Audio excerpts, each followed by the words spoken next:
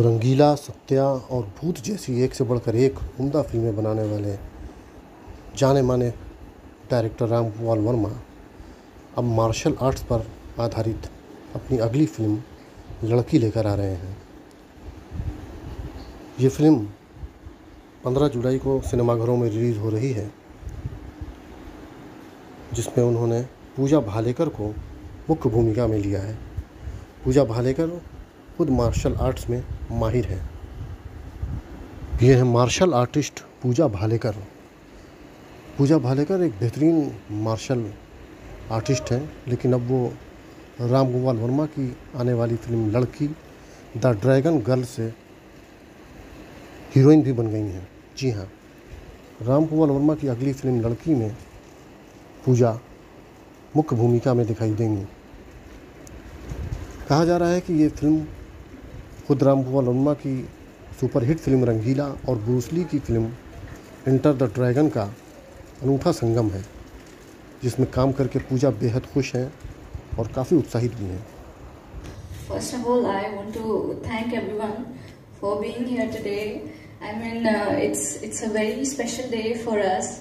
We have been working on this film past a very long time, and uh, finally uh, we are releasing a film. And uh, me and RGV, RGV sir and the makers of the film, we are really really proud to present you the Ladki. And uh, I mean, I, I hope that. Uh, you guys love the film. And uh, so, to answer your question, more than uh, uh, glad, I would love to say that I, I feel really blessed and uh, really, really grateful to be here and uh, to be a part of Ladki. I mean, it was Sir's dream project. I, I thought that uh, I'm the biggest fan of Lucky until I met Sir.